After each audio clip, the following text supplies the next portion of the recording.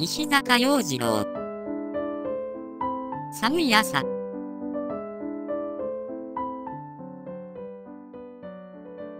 角の屋敷が目指す岩口富子の家である。大谷石の門中には、岩口という表札がはめ込まれ、門から玄関まで敷き詰めた鉄平石は、霜が溶けてしとどに濡れている。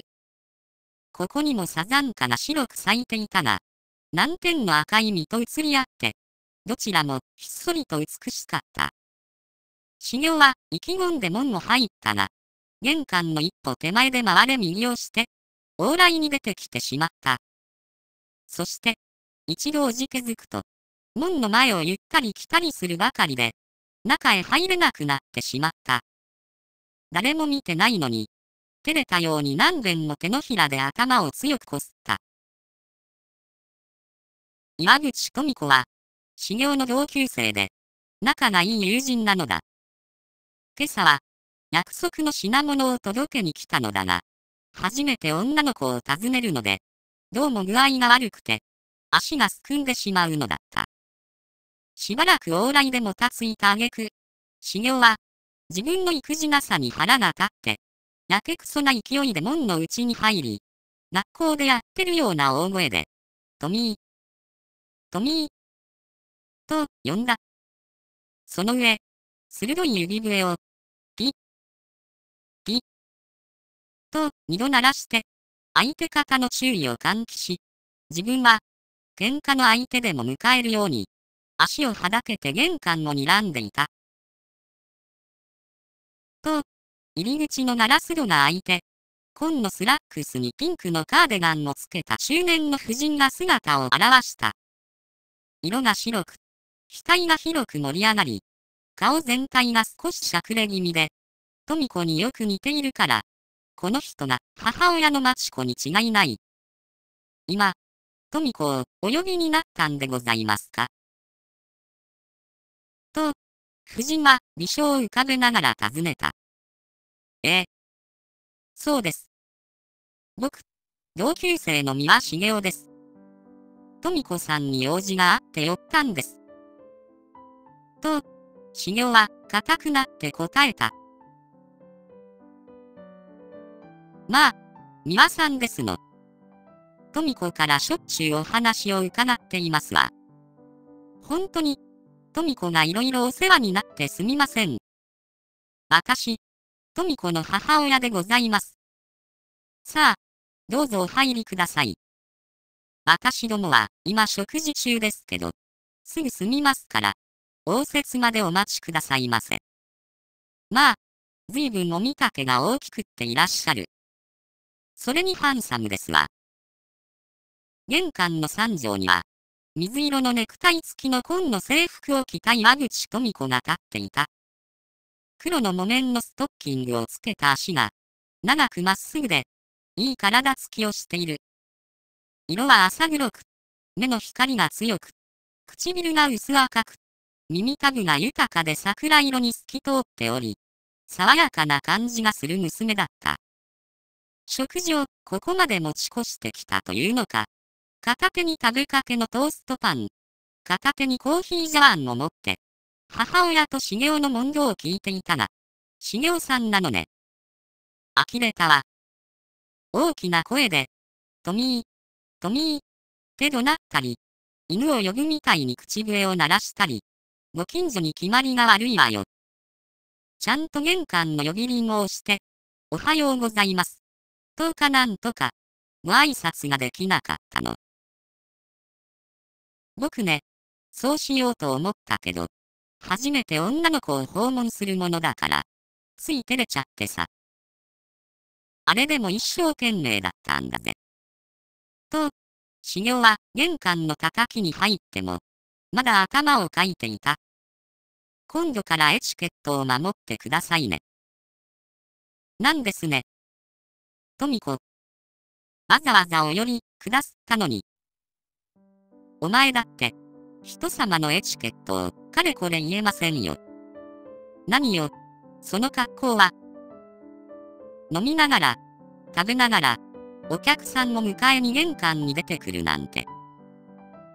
本当のお客さんならそうしないわ。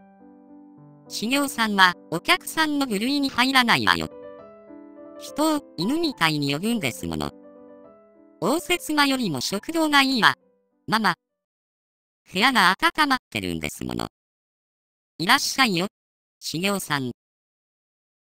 富子は、廊下を右手に曲がって、小さな食堂に茂雄を案内した。南と東に窓がある明るい部屋で、東の窓からは朝の日光が差し込んでいた。よく磨かれたテーブルの上には、チューリップが生けてあり、それを挟んで親子の食事の支度が整えられてあった。ガスストーブが燃えていて暖かだった。食堂に続いて台所があり、ここも光るほど取り片付いている。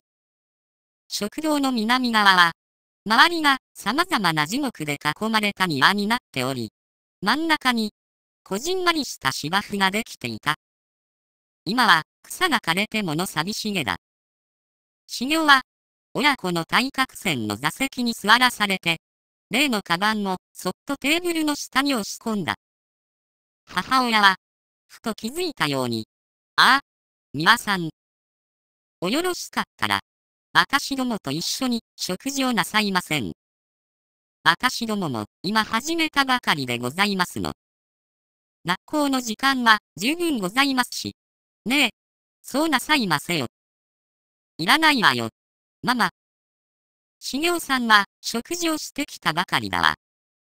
なんならコーヒーぐらいにしたら。ねえ、茂雄さん。うん。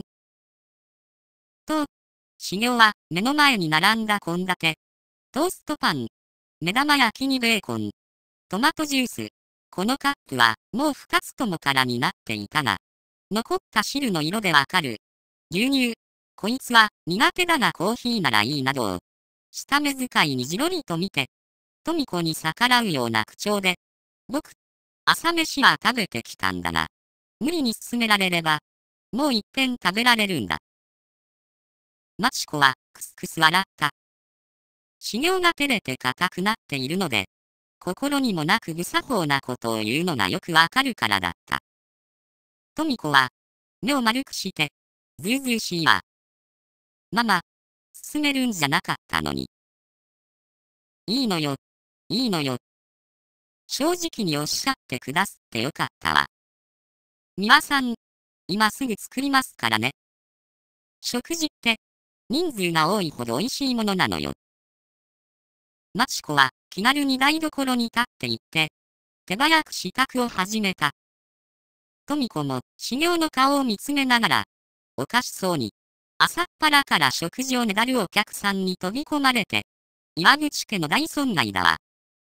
私、正面に、朝飯一つ貸し、とつけておいて、その分だけ、今度いつか修行さんの家に行って、お返しを取ってくるわよ。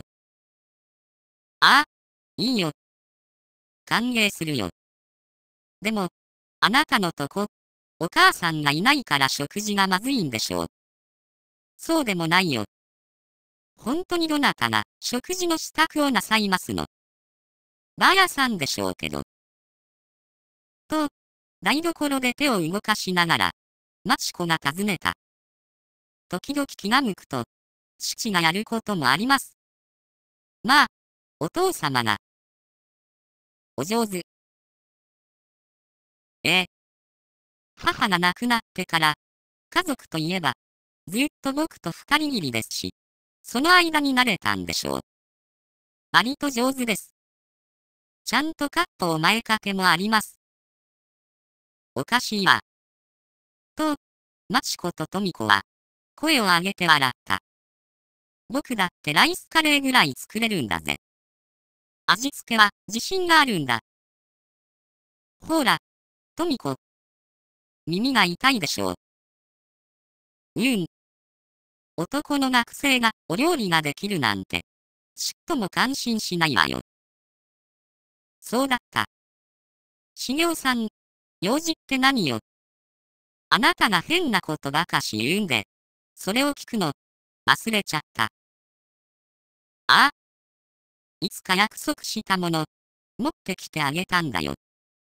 修行は、テーブルの下のカバンを引き寄せて、チャックを外し、中から、コロコロ太った、体が茶色で、鼻の先が黒い子犬を取り出して、富子の足元へ押してやった。子犬は、広いところに出されて嬉しそうに、よちよち駆け出して、富子の足に絡みついた。ああ。何よ、これ。あたし、こんなものくれなんて言わなかったわよ。言ったじゃないか。と、修行は、とんがった口調で言った？種のいい子犬が生まれたからあげようかと言ったら、家は女ばかりの世界で不用心だからぜひちょうだいって、そう言ったじゃないか。言ったかな？言ったとすれば、それはほんの愛想だったのよ。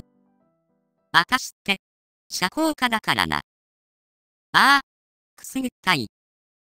私の足をかじってるわ。かわいいわ。名前なんて言うの。名前なんかまだつけてないよ。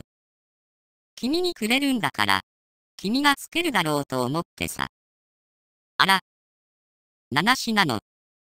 じゃあ、今まで、犬、犬って呼んでたの。まさか。ちゃんと名前を呼んでたよ。えへへへ。と、修行は急に崩れた調子で笑い出した。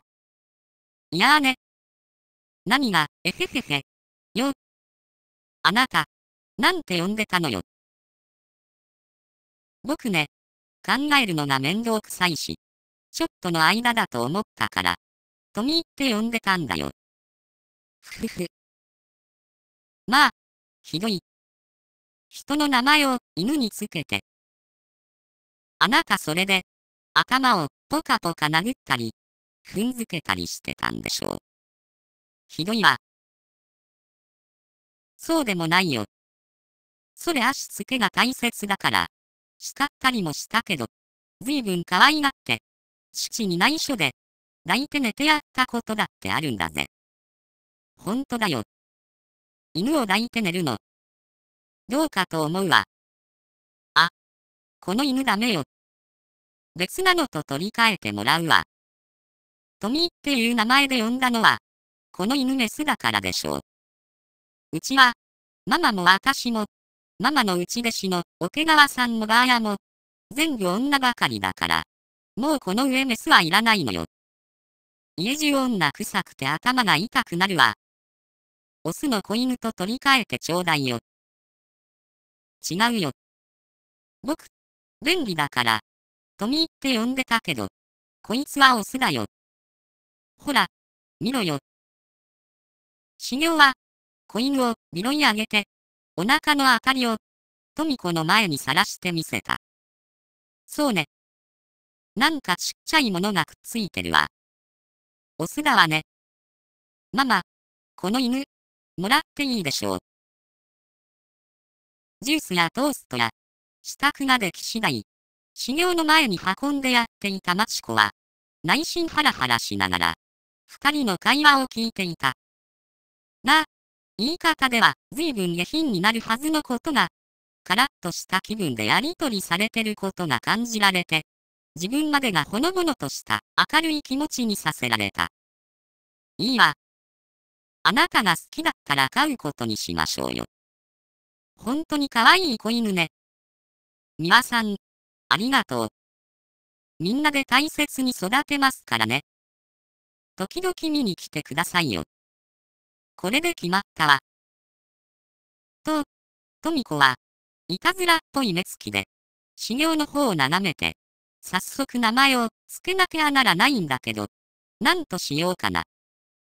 面倒がないように、修行ってつけようかな。寄せ合い。いいじゃないの。その代わり、時々抱いて可愛がってあげるわよ。とみこ。失礼ですよ。修行の分の支度もできて、マチコとトミコは、中休みしていた食事を、三人で一緒に始め出した。テーブルの下では、子犬がクンクン鼻を鳴らしながら、トミコが床に投げてあるパンくずを拾い漁っていた。